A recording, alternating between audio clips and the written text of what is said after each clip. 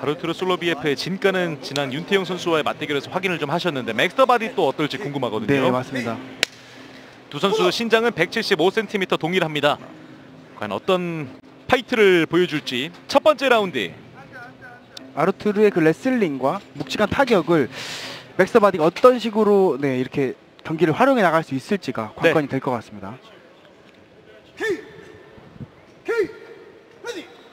경기 만나보겠습니다. 첫 번째 라운드입니다.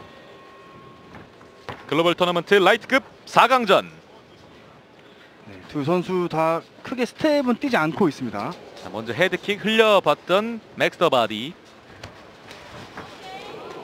자, 저돌적인 움직임을 그래도 초반에 보여주고 있습니다. 조금씩 아르투르 선수가 압박을 해 나가죠.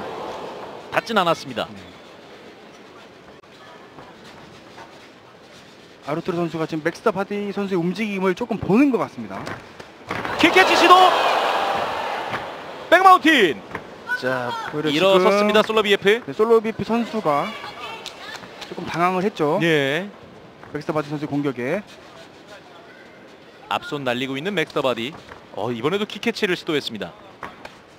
이제 kick catch를 하기 때문에 정면으로 온- 올라온 킥들을 지금 아르투르 선수가 하고 있습니다.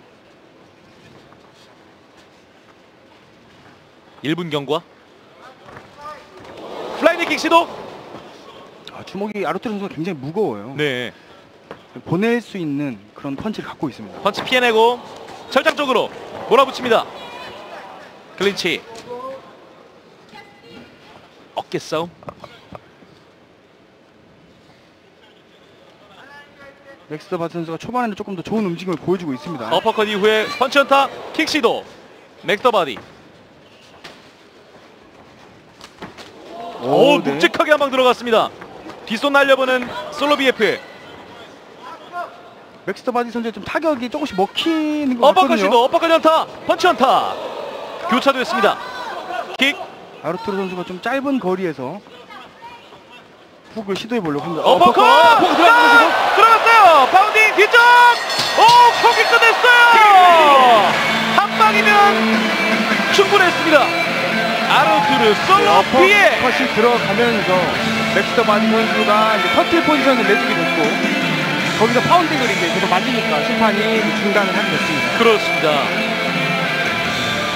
그러니까 맥스 더 바디 선수가 정신을 잃은 건 아닌 것 같아요. 예. 너무 이제 제대로 된 충격이 가해졌기 때문에 등을 돌리고 누운 네, 떨어진 것 같습니다. 보시죠. 어, 오른손 어퍼컷에 그대로 다운. 아, 뭔가 경기 초중반 몰아붙였던 건 맥스 더 바디 같이 보였는데 네, 맞습니다. 솔로비예프는 틈을 노리고 있었습니다.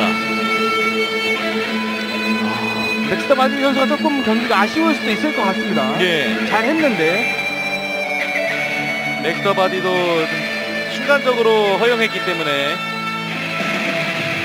그대로 당할 수밖에 없었고요. 어, 이렇게 되면 아르투르 솔로비예프가 라이트급 결승전으로 향하게 됩니다. 여덟 공식 번째 판정 결과 라이트급 글로벌 토너먼트 4강전 공식 결과를 말씀드리겠습니다.